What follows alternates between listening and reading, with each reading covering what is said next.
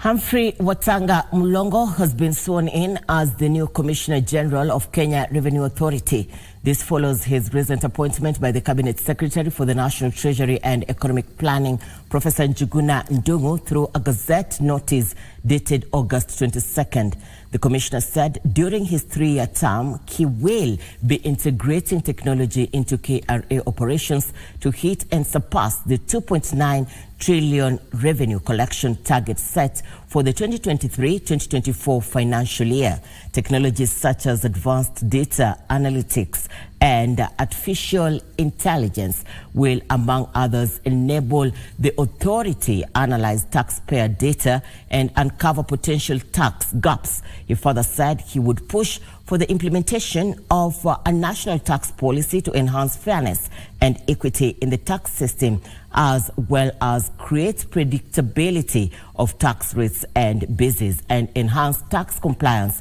among others having been appointed as the Commissioner General of the Kenya Revenue Authority, do swear that I will be true and faithful to the best of my ability and power in the execution of the trust committed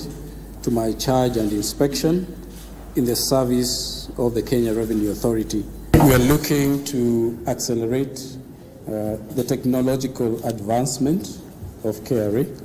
uh, so that we can really utilize the great sort of digital leap, digital advancement in technology. Uh, in the last uh, uh sort of few years, even in the recent past, you've seen what has happened in the area of technology. We now have machine learning modules, we have big data analytics, we have artificial intelligence.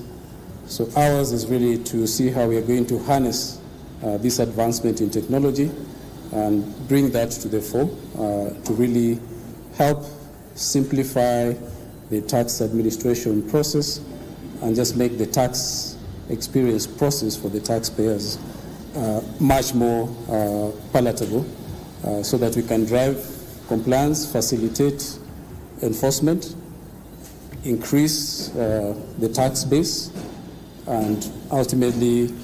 uh, reach the targets, uh, which, as Mr. Chair put out there, uh, we are looking at going for the 3 trillion target and then growing from there.